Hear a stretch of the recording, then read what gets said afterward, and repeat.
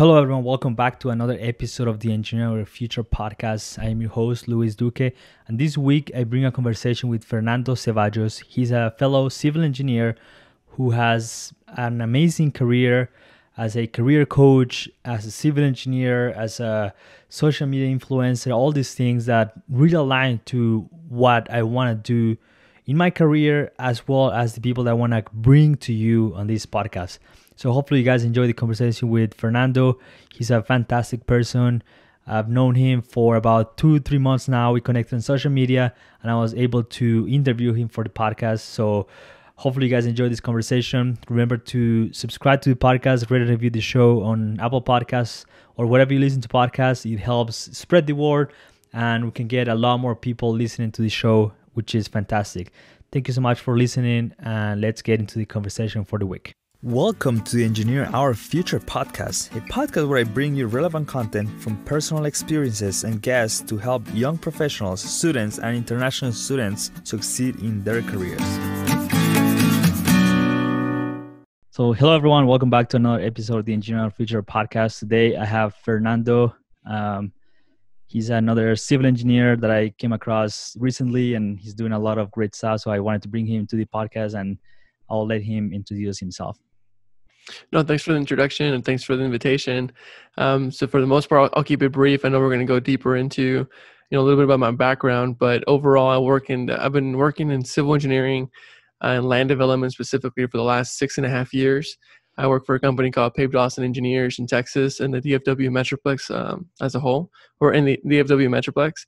And uh, you know, from the perspective of the, of the work that I do in land development, primarily has been commercial and um, industrial, uh, I guess, work.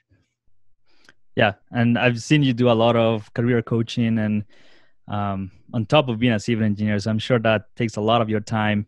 Uh, do you want to go in, a little bit in depth in what you do and what kind of kind of coaching you you've done in the past?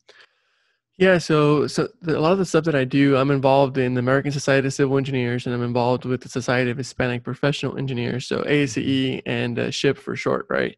And uh, through throughout those years, you know, me being a first generation student, first generation college grad, a lot of the questions that we get um, are along the lines of, you know, I don't have anybody in my family who's been in this in this situation. I have, I have nobody in my family to go to, and so a lot of the coaching that I end up doing is strategic planning on on what can your career look like in the future. And i think some people might say well fernando you know you're only six years into your career. What do you really know? Uh, but the thing is i'm coaching people who are just getting started. And i think the goal is how do i help people achieve better results than what i've achieved in the last six years? And so a lot of the work that i do is focused on that uh, leadership development uh, personal development, professional development, public speaking, communication skills. And I also have a few clients that I work with that are a little bit more senior, uh, but it's just people who need that that leadership development. So a lot of the career coaching that I that I do is along those lines.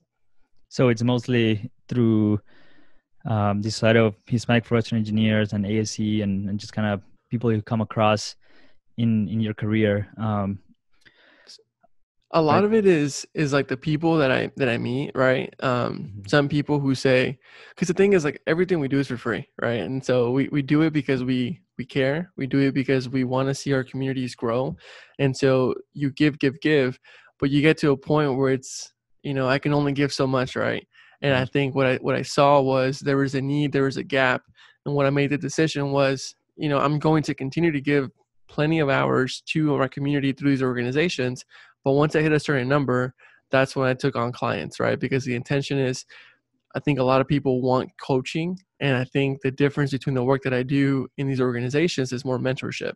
And so there's a difference between being tactical and strategic. And I think as a mentor, you know, my goal has always been join an organization, uh, join a leadership position, get involved, network, that kind of thing. That's a mentorship advice. As a coach, it's more about, okay, you join this organization. How do I help you be more effective in the leadership role that you're in? How do we become more tactical? What are the steps? What are the things that you're doing? And so that requires a lot of attention and accountability. And I think that's kind of the reason why the difference between a mentor and a coach kind of comes into the things that I do. Right. And yeah, I think that's a very important distinction to make that a mentor, a lot of times could be a coach, but there's a really kind of thin line between the two where coaching is more so like taking you through the different steps of your career and and a, a mentor is more so like helping you through the career but more in like a observing kind of position rather than taking a lot of action in, in what you're doing. Um, one of the things that i do a lot is volunteering again. Uh, i think you you're pretty involved with ASCE as well can you talk a little bit about what you do with ASCE and kind of your positions and and the things that you've been doing yeah, so I joined ASCE back in 2009. So it's it's crazy to think that it's been a while, right? Uh, over 10 years. And I joined it as a student, and so my involvement in college was was different than what it is as a professional. Um, my involvement in school was more about the technical development, and now that I'm involved in ASCE as a professional, it's still the technical component to it, but a lot of it is um, I'm part of two committees. One of us is the the the, the uh, diversity and inclusion committee, and the other one is a committee for pre-college outreach. And so, what is the goal for that? Well, the goal is to create a more diverse, inclusive industry that we all work in. And so, the only way we can do that is by being tactical and strategic on how we're going to go out there and talk to these kids and talk to people who don't come from the typical backgrounds. Uh, that I mean, you look at this you look at the statistics uh, and the demographics, and it's I mean, it, it, goes one way, right? And so when we look at the numbers, is how do we focus on trying to find ways to do that uh, through different programs and through, through different initiatives. And so the volunteer work that I do through the organization uh, with ASCE is focused on national initiatives and national programs that we can implement the local branches uh, and local organizations.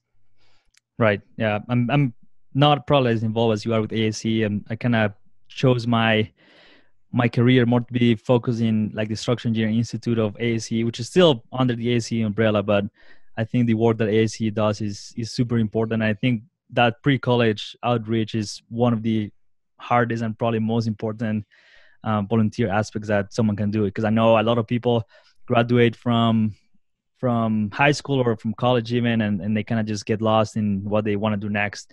Um, you mentioned one time when we talked last time that you mentor students, and I don't remember if it was high school students through the Society of Hispanic Professional Engineers. Um, and and you mentioned as statistics that I, I can't remember right now, but like, like a lot of them kind of drop out, and a lot of them don't really complete their their degree, or once they do it, they kind of drop out. Um, how have you been helping them, and and just talk a little bit about that experience of mentoring that that people?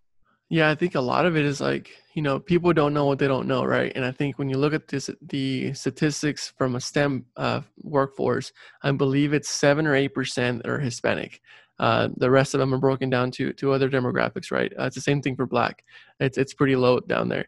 And so from a from a success standpoint, I and again, I'm I wish I, sh- I, I can remember these facts a little bit better, but I think it's like you know 60% of the people who pursue you know um, a, a, degree they they don't finish. And, and i think from that perspective it, it, makes it really tough because it's you know how do you how do you make them graduate? And i think the common theme is they just don't have a, a strong foundation when it comes to um, the work ethic right? They, they have it they, they want to go after it uh, and it's not necessarily like a work ethic of they're not good enough.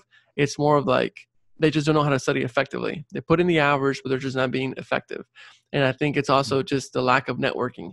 And and I think there's a lot of emotional components along with it. And so some of the discussions that we have when some of these kids graduate high school and go to college, some of them take out grants to pay for their parents' rent back at home. Um, because again, I am I'm generalizing here, and I'm talking about first mm-hmm. generation students because those are the kids that I mentor, uh, and a lot of them it's just it's a big burden. Uh, some of them have to work two, three jobs, and it's, it's, a lot. And so a lot of the work that we do is focused on making sure that those students who do pursue engineering uh, are graduating effectively and are graduating with a job, because a lot of them, you know, another another statistic is like a lot of them graduate, they get their first job, and they think that's good enough, and and it's good, but you know we want you to do more. We want you to go to middle management. We want you to go to that you know that executive role which i'm i'm aspiring to get to but at the end of the day a lot of the work that we do is focused on that uh, on making sure that people are moving forward with that growth mindset if you will. Right. Yeah. I'm i mean coming from colombia i i was born and raised in colombia so i know a little bit of the culture is is completely different than what it's here. And and i completely understand kind of where these students come from and and I, I, was very fortunate that I was able to go to like a private school and come to the US early on in my career and I really don't take that for granted, and I work hard every day to just improve myself and can I help others, and I think that has shown in my resume. So I think that's a really important mission you're doing, and and I think it's it's great. Um, it's also like very win-win, right? Because you know a lot of people ask me, some of my peers ask me, you know, why do you do this work? Like, why are you just giving your time for free? And the thing it's like I am, but I'm not because I'm getting something out of it. You know, mm-hmm. me being able to have this conversation with you a few years ago, like I mean, I still get nervous, but it's not that bad anymore uh, because I got the reps in, right? And so the more I talk to these kids, the more I practice and the more mistakes I make, and the more comfortable I get. And so, what's the parallel to my career? I get more comfortable talking to my peers, and then I get more comfortable presenting new initiatives. And then by the time I know it, you know, I'm presenting to clients and taking on new new responsibilities that my peers are not ready for. And, and why is that the case? Well, because I'm putting in the work. And some people might just say like, "Well, you're just giving away your time for free." Well, no. It, it's it, to me, it's a win-win because I'm helping them get perspective, and I'm helping myself build those skills.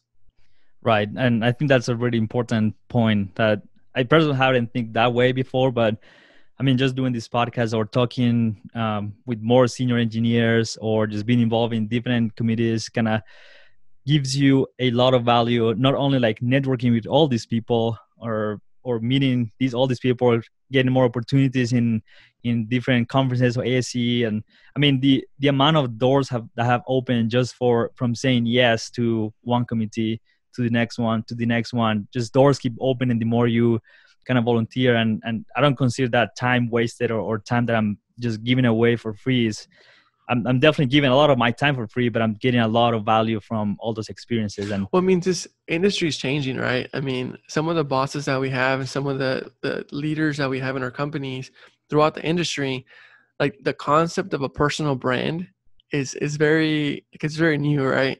Yeah. And so to them, it's you know why are you on social media and why are you doing this and why are you doing that? And, and a lot of it is like we have to evolve. We have to be involved in these different social media platforms because if not, we're going to become a dinosaur and we're not going to evolve. And I think to to your perspective, the more you get involved, the better your personal brand gets, and then people are able to say, you know what, I trust this guy because he's going to be able to do this work because I know what he what he stands for because uh, if you don't do that, then I mean, then what really what really represents you uh, if you're not able to put your work in front of you? Right, and yeah, just kind of volunteering and and opening doors kind of in front of you by saying yes.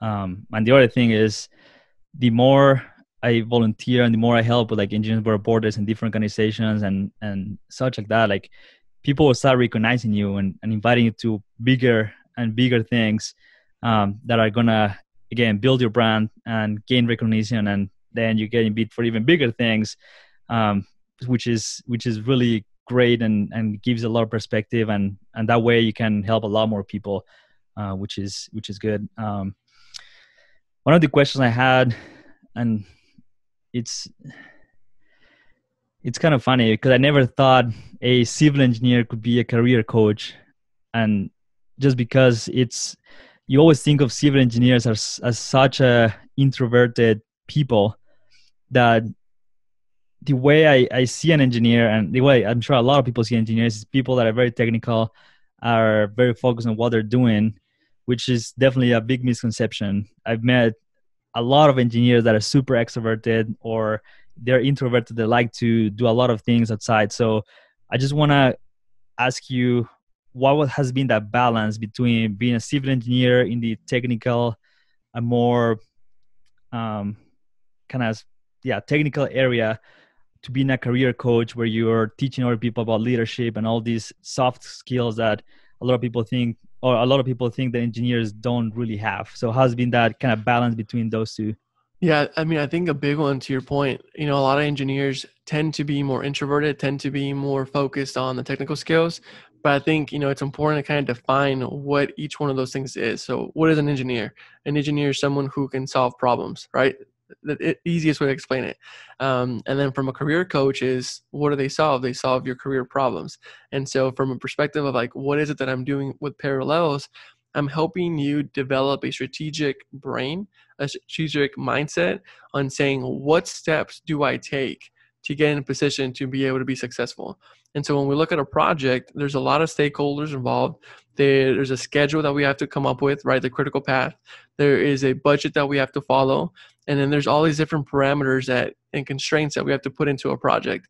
And so from that perspective, it's similar thought and a similar uh, mindset of a career coach because I take Luis and I say, okay, he comes from Colombia, he has his experience, uh, this is these are aspirations, these are his constraints. He has a family, he has a, two kids, and so I'm pulling all these different parameters, and so I'm coming up with a plan that is tactical in the regard to how do we help Luis develop his passions and pursue different projects that can help him build himself that are going to be able to build his resume to be able to pursue new opportunities at work that are going to parlay to his career right? And so from that perspective that's kind of how i see it right? From the perspective of what are they the same?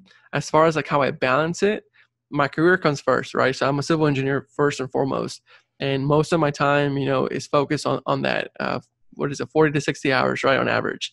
And so from that perspective like that is my my commitment to my my career. Now what happens outside of work you know i have other hobbies. I like photography. I have a podcast. Uh, i like the career coaching. And so to me it's just pursuing passion projects some people like doing woodworking some people go out drinking every other night uh, for me it's i like working with people because the reason i pursued civil engineering was to help my community right? To help the world that we live in. And so, what better way to do that by helping people become better people? And so, that's kind of the reason why I pursued that. Yeah, and I think, I mean, I, I think you and I are very similar in the way we think, and I kind of think that's one of the reasons we kind of first connected uh, a few months ago, and and yeah, just kind of helping people and being involved with ASCE and all these different organizations is is really great. Um, I just want to hear a lot, a little bit more what what kind of other volunteering experience you have had and and kind of what skills you have been able to develop through those volunteer experiences. Yeah so the the one that comes to mind i mean the big one is for me is is SHPE right? Uh, it's a society of hispanic professional engineers.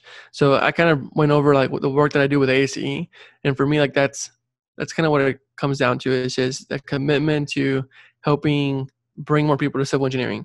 Uh, and through that, I'm involved with Future City uh, as a judge. And so I go to the competitions and help kids give more exposure to civil engineering.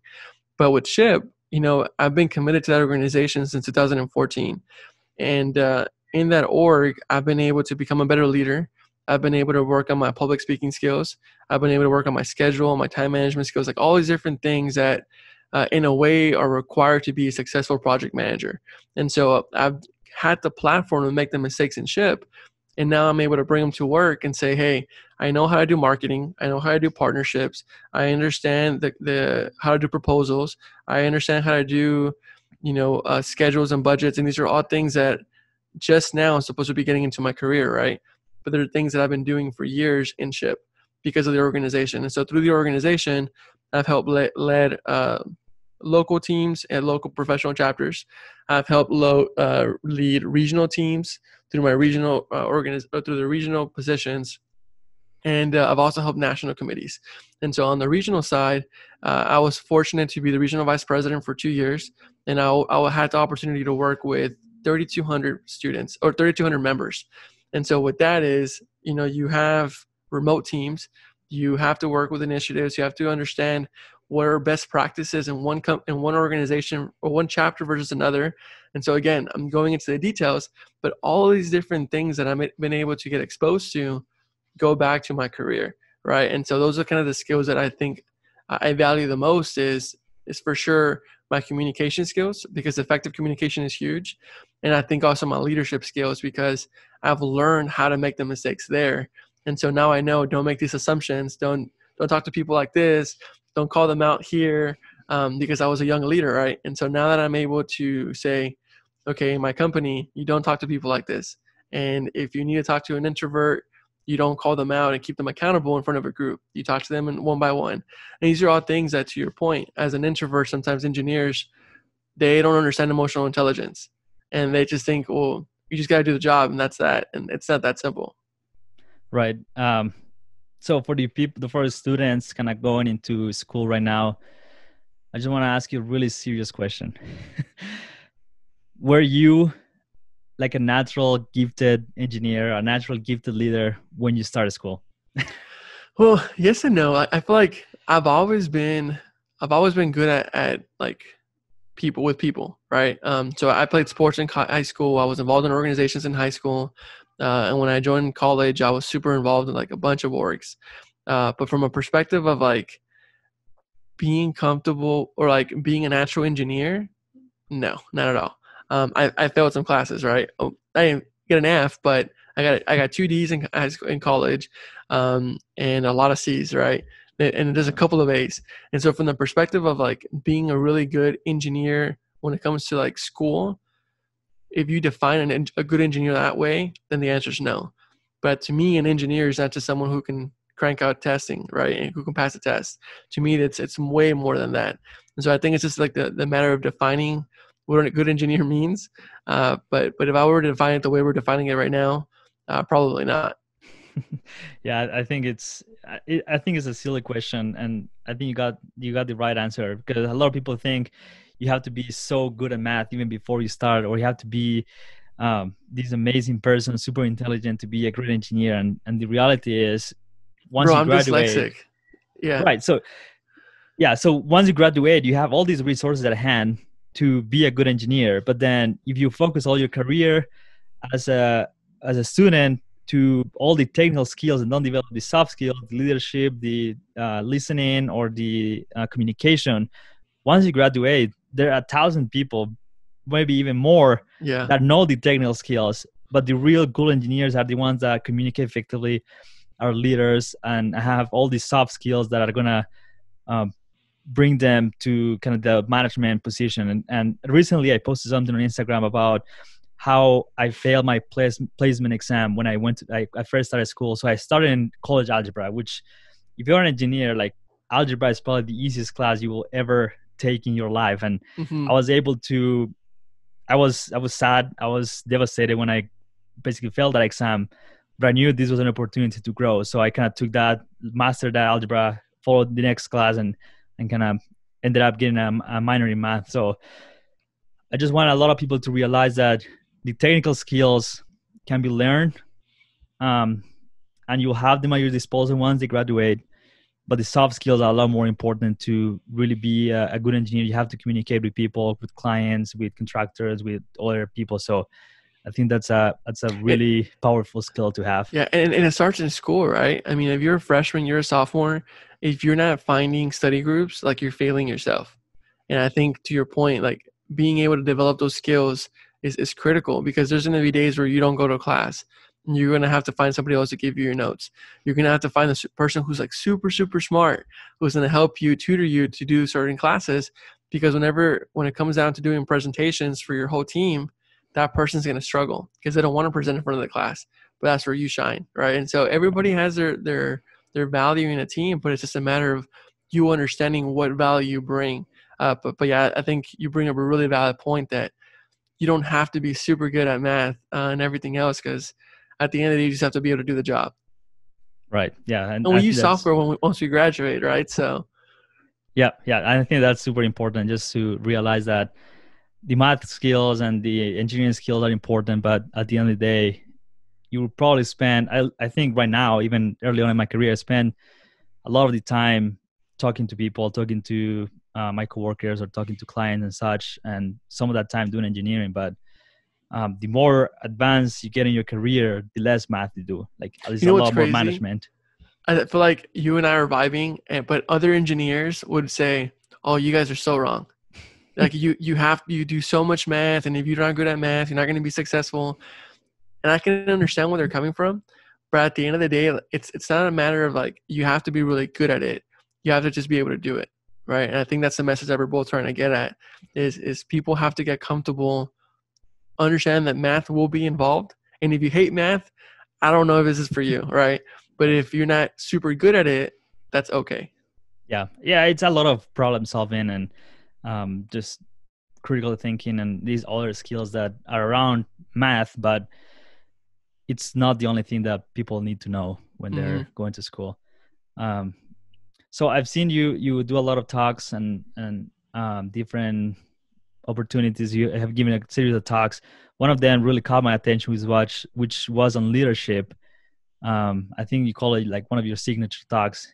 Would you mind giving us a little bit snippet of what that talk uh, looks like and kind of what the points you you make in that talk?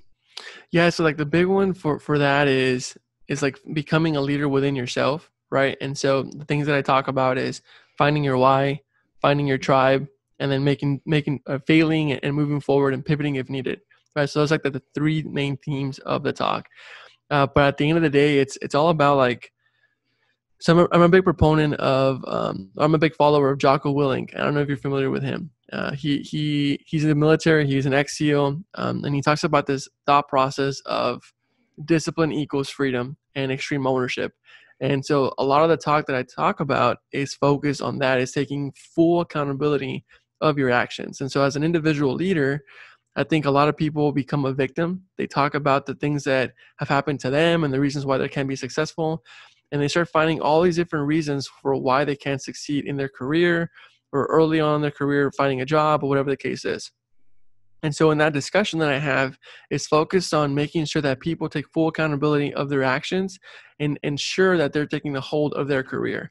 Uh, a lot of times when I do this discussion, and so the, leadership talk is is kind of a, a, common regardless of who I talk to, but I tailor it to the audience. And so, if you're early on in your career and you graduated college, a lot of the things that I hear to people say is, "Well, my company is going to take care of me." They're going to teach me what I need to learn. They're going to put me in position to be successful. If I put my head down and work, it's going to be good enough, and I'm going to do my job. And that's not the case, right? Mm-hmm. And so, when the discussion of leadership is people have to take full accountability of their of their job, they have to do their job and a little bit more.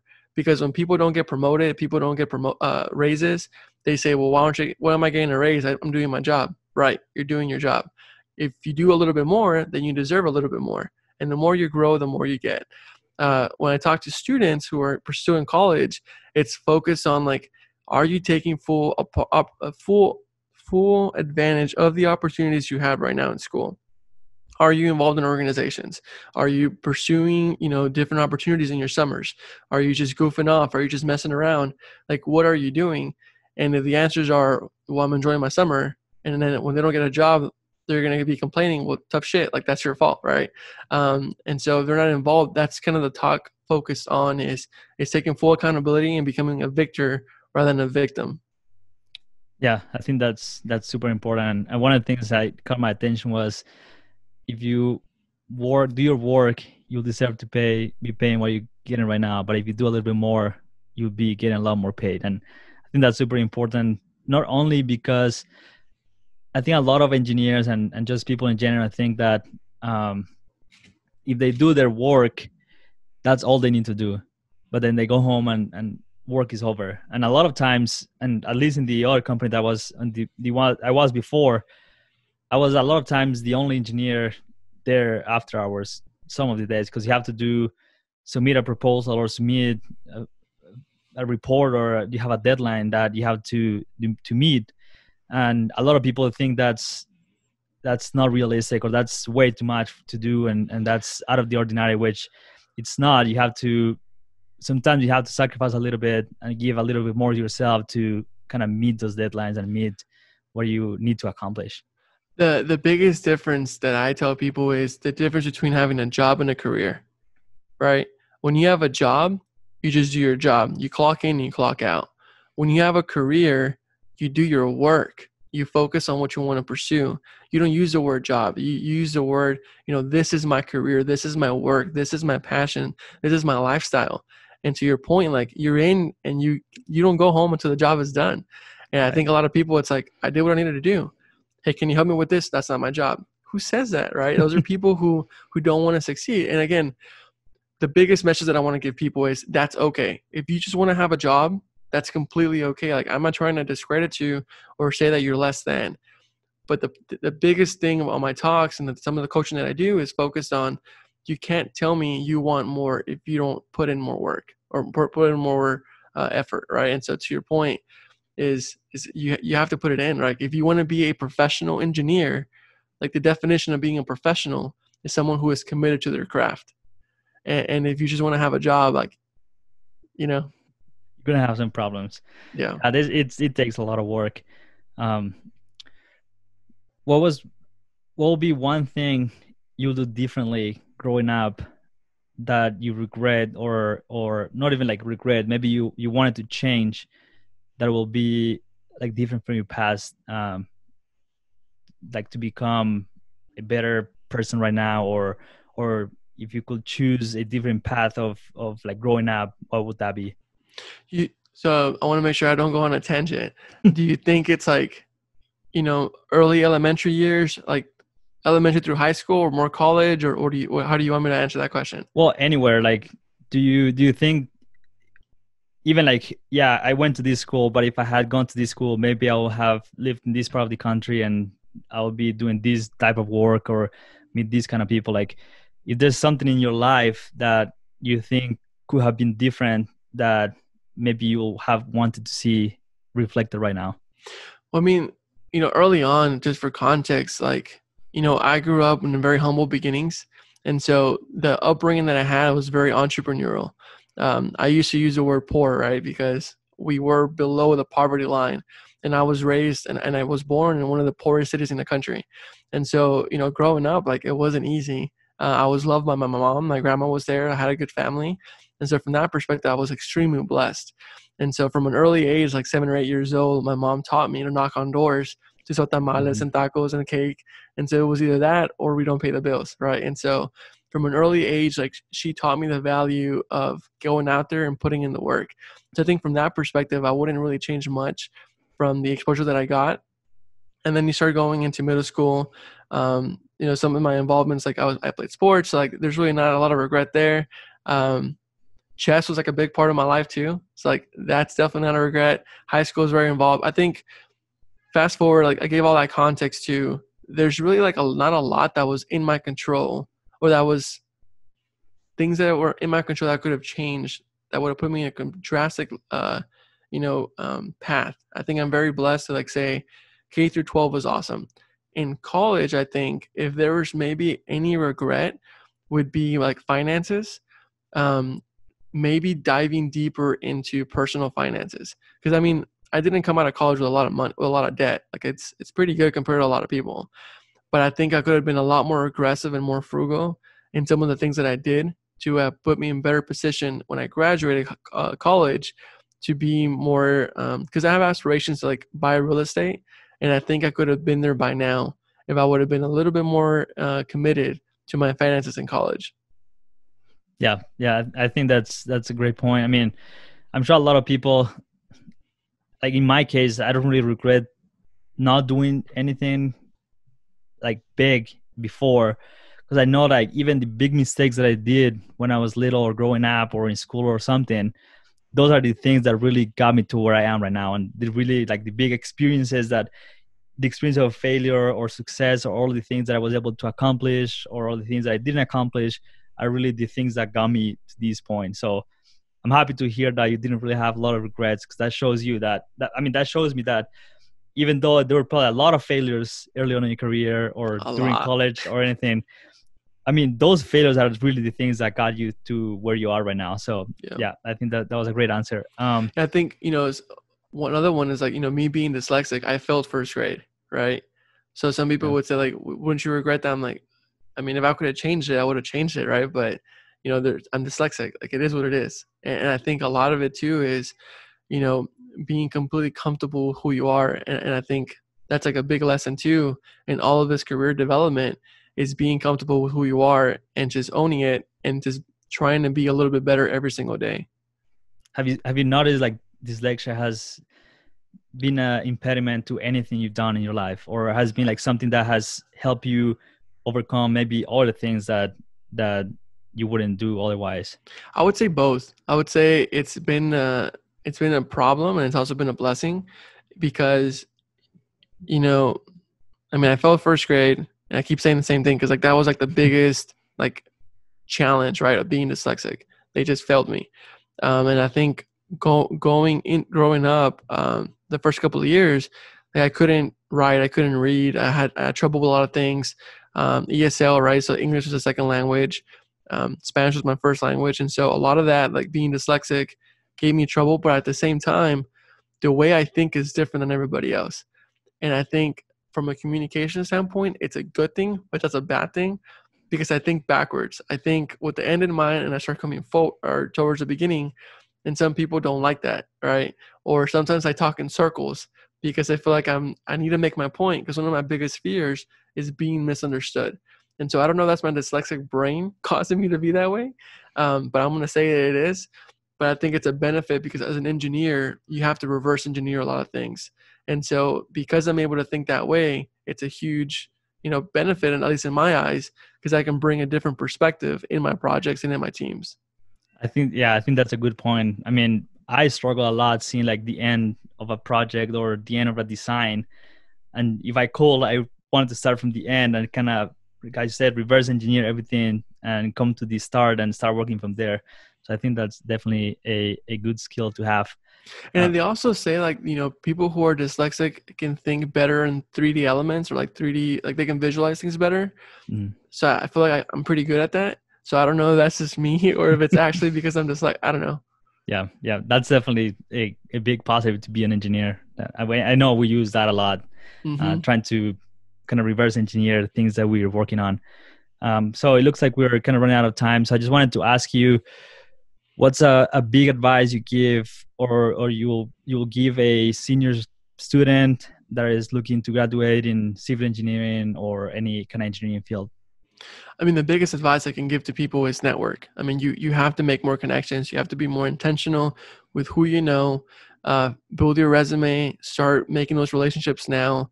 You know, find seniors who already graduated. Um, find super seniors. Right. Find people who who you maybe had a relationship with in college who are now working in the industry, and start making those relationships with them now.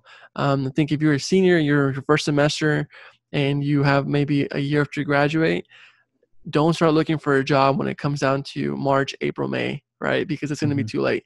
You have to start now. Uh, I think the the longer you wait, the more disservice you do to yourself. And the other one is just get comfortable being who you are. Uh, and, and I keep saying that, but what I mean by that is, if you have a resume that's on paper and you think you're this perfect person, but you really don't, you know, uh, reflect to that, or you really don't represent that, I think that's a huge disservice to yourself. And so what I want people to really take away from this, you know, message is figure out what's who you are on paper, but really know what you bring to the table. When someone tells asks you the question, you know, why are you an engineer? Why are you pursuing this job? Like you have to know your why. And I think that that's like the biggest message is people need to fundamentally know why they're wanting to do what they're doing. And I think that's like the best message I can give to people who are in school, regardless of they're civil or anything else. Yeah, I think that's that's a great advice. Um, well, another question I like to ask people, like bring to the podcast, is uh, what can what books do you recommend, and what books have changed your either change your life or change your perspective on on certain topics? I would say um, the Four Agreements by Don Miguel Ruiz is, is a huge book on personal development and also understanding um, personal accountability. I think that's a good one for anybody who's trying to go into the personal development space. Uh, Start with Why with Simon Sinek is a really good book. Again, going back to the why, yeah. he kind of you know puts it into in pretty good context um, on understanding like why you have to do certain things. And then the other one is Extreme Ownership um, by Jocko Willink and Leif Babif. Babif. I can never say his name right, uh, but that's a really good book as well. Yeah, I've heard one of those, so I'm excited to to maybe read the other ones. Um, so, just a final question: How can we better engineer our future? Reverse engineer it. Figure out where you're trying to go, and then work backwards. Um, if you know where you're headed, you know what you need to work on. Yeah, perfect skills for for a lot of engineers. It's it's a wonderful thing to. I, I mean, all the work we do is is complicated and and the more we can think ahead, the more problems we save down the road. Um, yeah, thank you so much for coming to the podcast. Where can people find you? Uh, social media or or things you've been doing? Yeah, so people can follow me on Instagram or on YouTube. Uh, they just find, Google my name or Google my name or look it up on the on the Instagram or YouTube. They can find it, uh, Fernando Ceballos. And then uh, I also go by my, my username is FDO Ceballos. FDO is standing for short for Fernando. And then I also have a podcast called Dealing with Life Stuff podcast. And so we talk a lot about uh, career and just personal growth and uh, philosophy with my co-host. And so if people want to, you know, connect with, the, connect with us there, they can definitely do so. Yeah, I'll we'll link those in the show notes below and and description and everything so people can find you. Thank you so much, Fernando, for coming to the podcast. And um, again, we've been doing a lot of similar things, which is wonderful. And I'm glad we connected when we did.